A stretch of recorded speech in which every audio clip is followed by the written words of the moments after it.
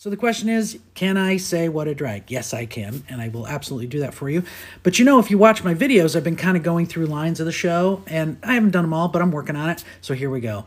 Whatever. What a drag. There you go.